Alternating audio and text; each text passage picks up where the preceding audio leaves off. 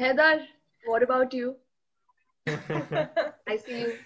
Oh yeah. Uh, so I spent about three and a half to four months in Uttarakhand, and uh, there. Oh, that's my, a beautiful place. Yeah, Dehradun, Dehradun, to be specific.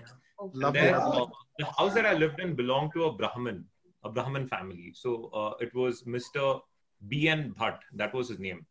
So they're Brahmins, and Kashmiri Pandit.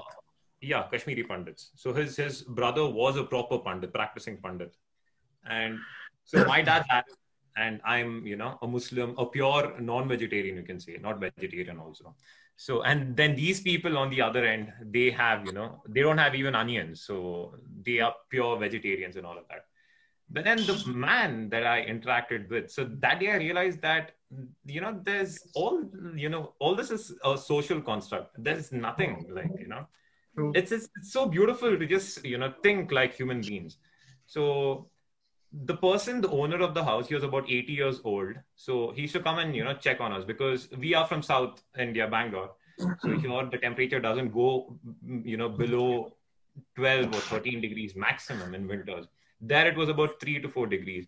So he used to come up to our room and he used to check on us and he used to be like uh, did you all guys you know have dinner and he used to also ask us if we you know want to have chicken or mutton or eggs. And i'd be shocked like y'all don't even cook onions and so he'd you know tell us that y'all are young. Y'all should build muscle. Y'all should eat you know? So it, it it wasn't you know he was not thinking about his religion or his faith that you know uh, restricts them from having non-veg. He didn't impose that on us. He was offering us to you know eat it or get it for us. So that was something beautiful and also uh, there was a point where i was really sick. I was down with the flu. And then uh, he walked up. Okay so our, we were living on the first floor. So the man walked up to our room. So he got his own medication kit his own box. And then he you know had a few uh, medicines different different medicines scattered. So he got me a paracetamol. He opened it. He's like you have this.